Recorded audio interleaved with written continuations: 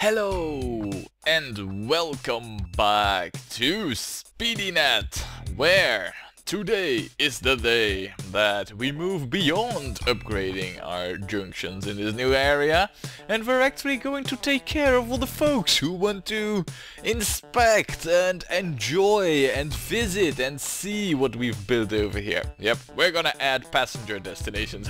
we've had already laid the groundwork for it, but today we're actually going to put it into service.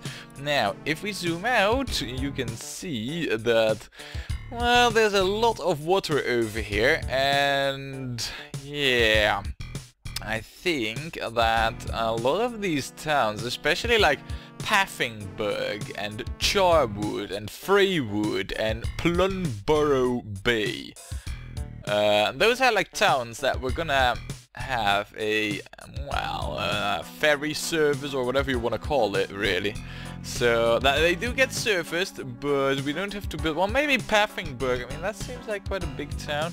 oh yeah, most definitely. Look at that. There's even like some kind of dojo over here, like a town center. With a square right next to it. I mean, this actually quite does look like a real town. I mean, 2,432 passengers. Hmm, I don't know. In any case, um, so Paffingburg might get as itself a um, dedicated train station, but I just wanted to point out that uh, Henley over here, for example, uh, as well as Ruthatton, uh, Caffingly, Nehill, Senningwell, Branfield and Fenwell. oh yeah, I mean, those towns, we're not gonna hook them up. Mean, we might do Fenwell by Naval Service as well as Branfield, but these, I mean, I don't really see the point in having these hooked up as so long as we do not have any activity over here, see? So, yeah, no, same actually goes for Plumborough Bay, though.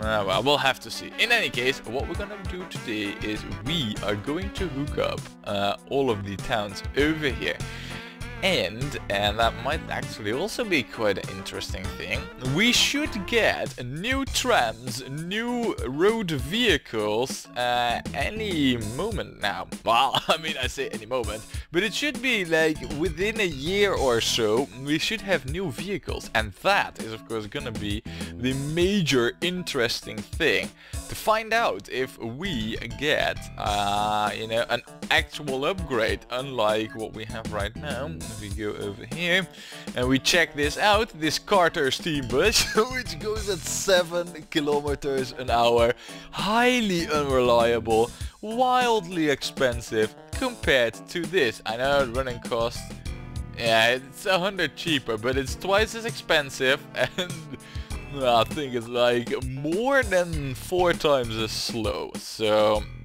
there you go. Ooh, I believe that. Now these are the old trucks. Isn't that right? Yeah, we got those in 19, uh, 1860. 1960. I mean, that's like so long away. Uh, no, but yeah, we should we should get these new ones, and I'm very very curious. I believe. Uh, no, this is the one we already have. Yeah, trams are also in this. For a moment, I thought this was a vehicle, but then I saw tram here. I was like, ah, yeah, of course. How could I forget? Now, um, yeah, so um, with that exciting news on the horizon, uh, let's get into hooking this all up to our passenger service. And I'm already seeing one issue over here, which we know as Rintford, because Rintford isn't really close to any suitable destination. So just for the sake of keeping Rintford at least happy, uh, we're gonna make like a little triangle here. So uh, yeah, let's. It's time to get in action. Let's get ourselves some passenger destinations.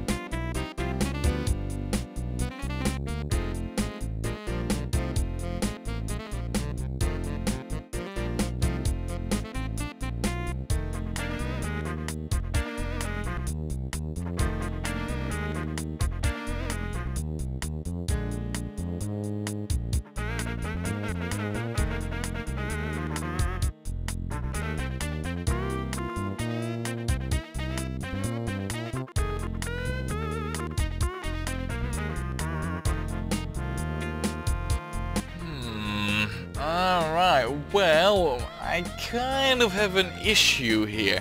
So I thought it would be really easy and nice to just hook up Paffingburg over here, huh? But when I see uh, around, well, the area around Paffingburg, I see lots and absolutely lots of fruit plantations.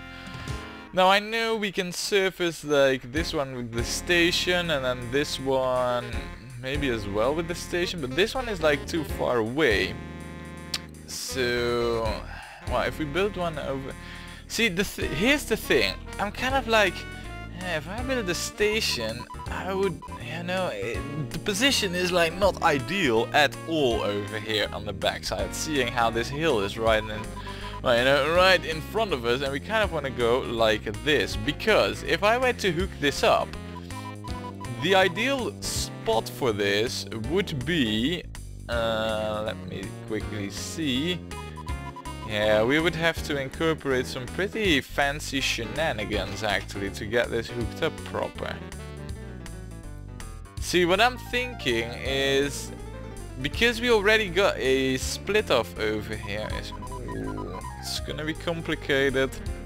Paffingburg over here is not gonna like us. Yeah, alright, alright. We absolutely got to have to do this, because Paffingburg is like quite... Ooh, steam truck. Don't want it. We'll get it eventually. But yeah, Paffingburg is kind of like the centerpiece over here for hooking up all these destinations over here with everything else. You see, this is like, these two spots are very tight spots and Paffingburg is absolutely in between them. So I mean, I know I kind of went for the easy way out here by just hooking up uh, Friendinghead Cross first. But really, we need Paffingburg. And the way we're gonna do it is by placing a station back here. And then... Now that station is going to be very, very busy. We might even at some point have to remove this very house here. And then... Oh man, this is gonna be troublesome. I guess the best solution would be to have the tracks go you know, have it be like a loop station, so we come in from this direction and then we head back from this direction. I guess that would be the best solution, and then we would have it like uh, over here, you know, so uh, maybe like somewhere over here. And then so that we can hook it up directly you know there's no like uh, bus or tram or whatever service in between. The station is serving the town directly oh man it's gonna be tricky and tough but we're gonna do it so let's get on to it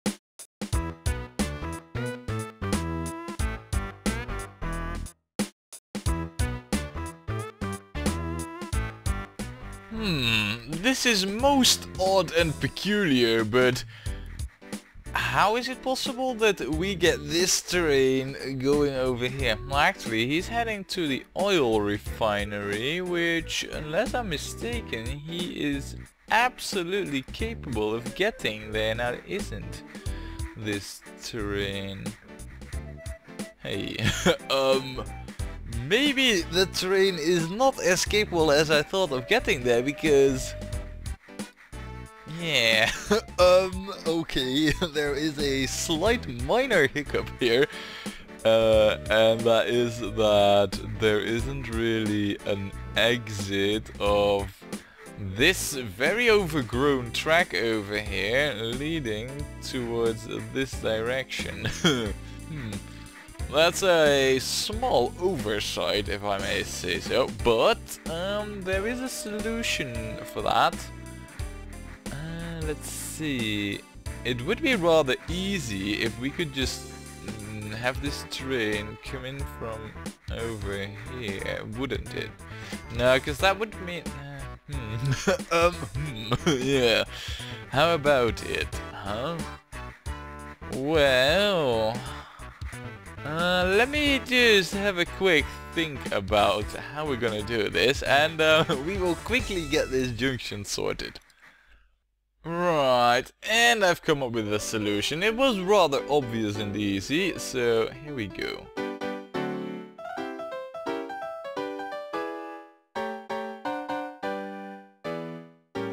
Right, okay, so that's that sorted. However, that still makes me wonder why this train ever went over here. I guess it's because it's lost and then it totally, you know, its pathfinding just goes haywire, basically, so...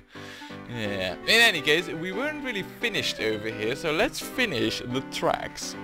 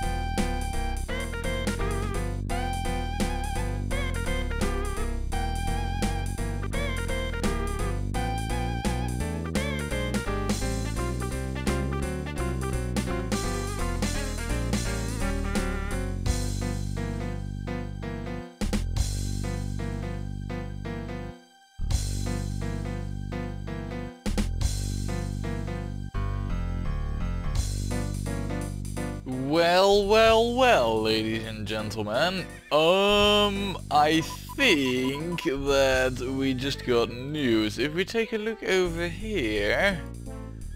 Yeah, this is it, the new bus. And is it any faster? Well, for those who have been paying attention to the message that just popped up there, I have bad, bad news. Look, it is only 6 kilometers faster. Yeah, sure it can carry a little bit more. It can carry just as much as these horse carriages.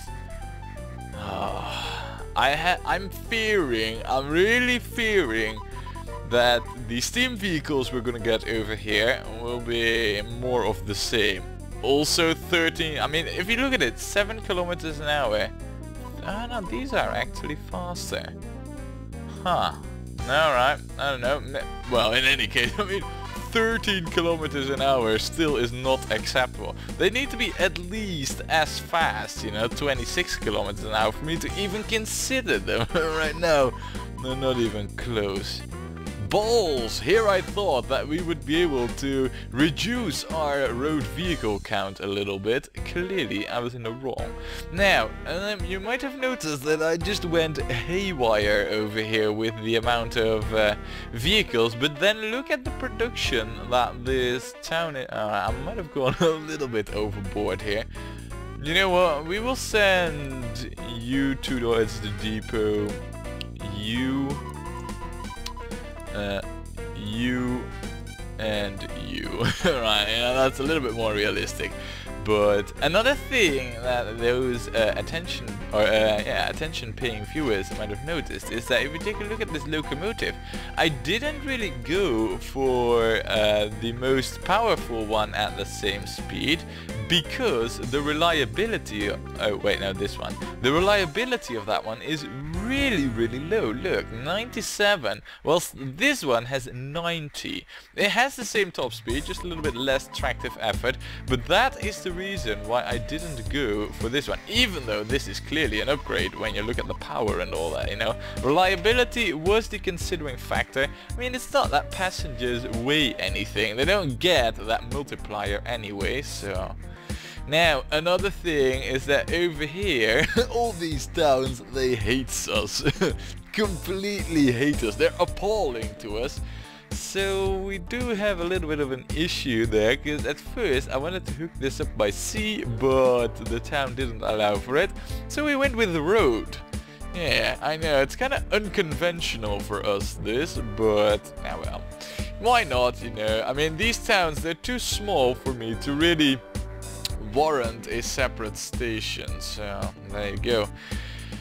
Now, there's only one town left really, and that is uh, this town over here. And we might as well hook that one up. However, the problem is that I believe over here, Feudingbury, if you take a look at the local authority, yeah, they're also appalling. So we first need to appeal, you know, appease to them a little bit by, uh, well, you know, moving passengers to and fro. And then, uh, once they like us enough, we will be able to start moving those passengers further about. So what we're gonna do for now is I wanted to, you know, hook up this. I actually should, I think. Otherwise that town might start hating us too. What we could do, of course, is send all those passengers to uh, Traffingford Woods. I mean, why not, right? But that would mean skipping this station over here completely. Uh, I guess we could do that and then later on once these towns like us reroute the that train to this station and then you know make this part of the passenger destination network too. You know what? that is exactly what's gonna happen. So uh, yeah, let's get that train sorted quickly.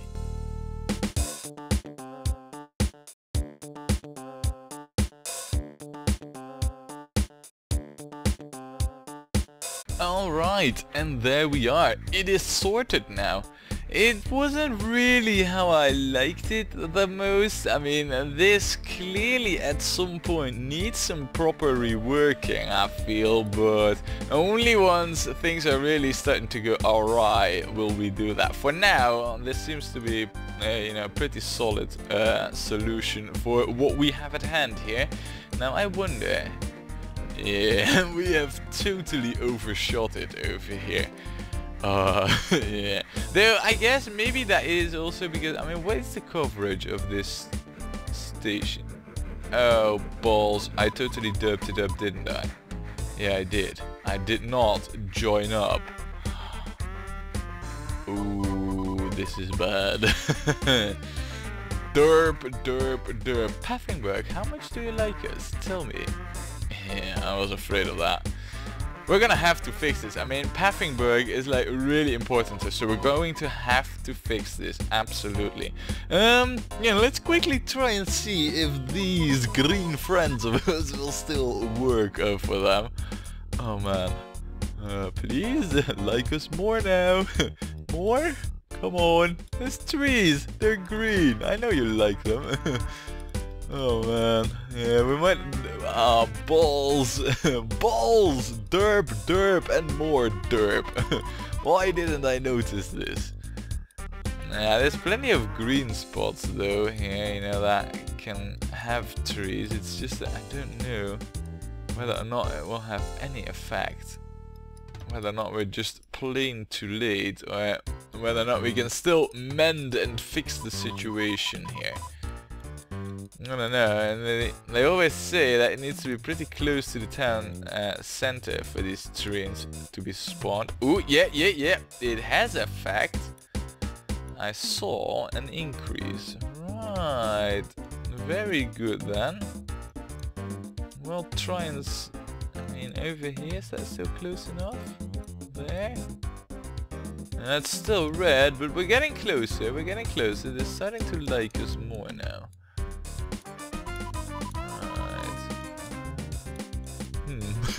okay, I'll continue planting more trees here and there, and uh, yeah, till they like us enough.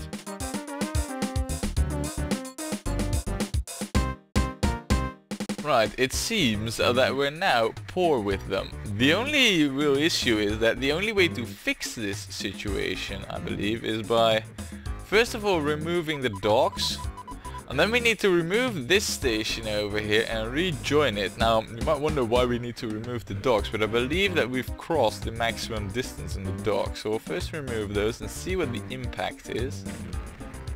Right, so far so good. Then, if you would be so kind to leave the station, ultra long nice train, which I totally made for this whole town, however, it's only being in the corner. Right, okay, here it goes. Ooh, alright. That didn't... I mean, that did not have the dramatic effects I thought it would have. Yeah, let's see. Yeah, we need this one. Nice. okay, well, so far so good. Uh, we'll build it back in the same fashion. I quite liked how it looked, you know, with the uh, warehouse uh, you know, right there, and then the I believe it were the facilities there and I think we also had one of those yeah there. Ah that looks a lot better.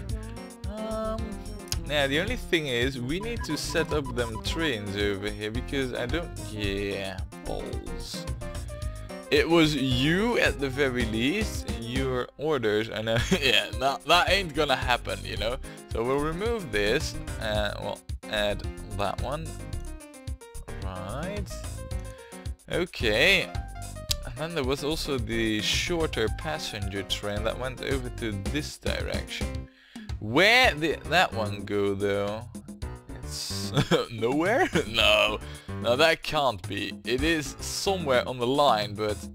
Uh, kinda can't find... Oh no, wait, wait, wait. It's over here. There, and you need to... Paffingburg woods, yeah, that needs to be gone. You need to go to Paffingburg itself.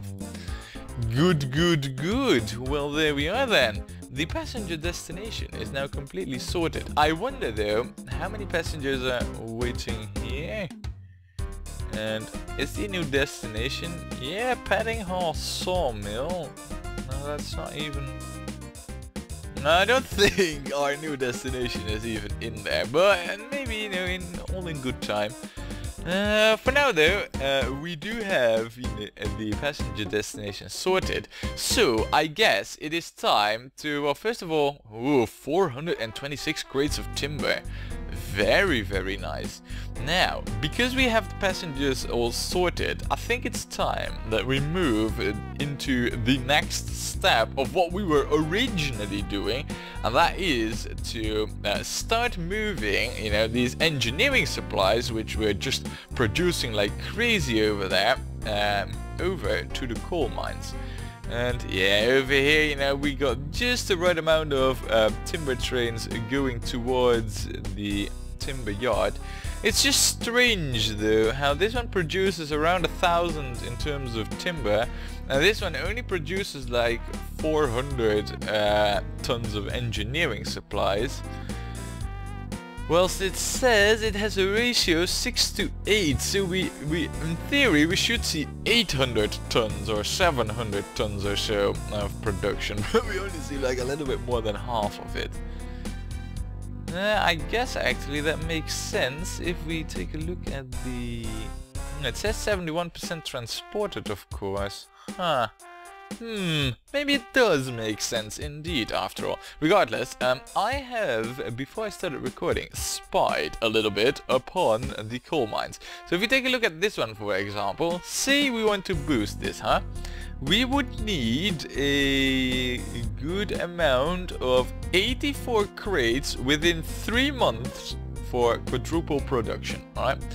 Now, that means that uh, because this is month production uh, and crap I forgot that number already but I got my calculator over here. We would need uh, let's see 84 divided by 3 I know I'm bad. 28 uh, engineering supplies per coal mine to go quadruple. Now just, you know, see that the production of them, we'll round it down just so that, you know, we're a bit on the safe side. We'll say that we get like 400 uh, engineering supplies, right? If we divide that by 28, we can service 14 coal mines. 14, huh? And they will all go quadruple production. Now, if we then go to the map view, because, you know, it's all about the numbers, and the bigger they are, the better. Um, if we go to the map view, and we take a look at industries, and then you know, we need to disable all of them, and only check for coal mines, we can see that we have one, two, three coal mines over there, uh, four, wait, hold on a second, am I saying that right? Am I saying that right? Yeah, no, that is totally right. Three we have on the top, and then we got another three and another three. That's nine. So, based on that theory, we should be we should be well able to supply all of these with engineering supplies, and that is, uh, you know, with a surplus, because of course there's going to be a loss of uh, engineering supplies along the way, just as we have with the timber. Um, think it needs to be good, yeah. I mean, the timber is also only getting 70% transported, so say that we can only transport 17% of this, or 71% uh, of this, you know, 426, we should be able to, um, I mean, I'm calculating right now here, I know, preparation. well, we should be able to serve 11 coal mines, more or less, you know, with the percentages all cut off and 11 happens to be more than 9 that we're serving right now. In fact, we could even hook up two more coal mines, which we have right over here, and they would also be able to go quadruple production. Huh, is that good or is that better? Yeah, I know. So, what we're going to do is we're gonna get all these engineering supplies to all the coal mines and, well, there is a little bit of an, uh, well, issue with uh, the whole engineering supplies situation though, and that is that the journey takes like forever. And over here, the issue is mainly that, um, well, they're like miles away, they're like literally miles away. So I think that before all of these three coal mines get like a load of coal, well, I think these three can be serviced within three months. the thing is though, they need three loads because this one's adjacent to the stage so we need one delivering and one transferring. Oh man. yeah, this is gonna be, well, you know, difficult to balance. But we'll get that sorted. And I believe that because all the infrastructure for passengers and all that is already there, well, except this station, uh, all the infrastructure is there. So, uh, what I'll be doing, and well, you know what? I'll quickly, I'll quickly modify this station so that we can also deliver coal mines, uh, uh, uh engineering supply coal mines. I mean, yeah, let's deliver coal mines. Man, what am I saying? No, I mean engineering supplies, of course, for the coal mines. Uh, I'll quickly modify the tracks here so that we can access this station from this side. But then we should be all good. And I'll be um, doing the whole... Uh, well, how should I put this? The whole uh, engineering supply... Oh, no, actually. I'm looking at this over here and what do I see? I see no entrance tracks from the... Oh man. We have issues over here. We need to... Yeah, this... I mean, this thing I just made needs to be redone already because the supplies will all come from this direction. So we need to have tracks that enable us access from this direction. So, you know what? That's gonna happen next time when we play more OpenTTD.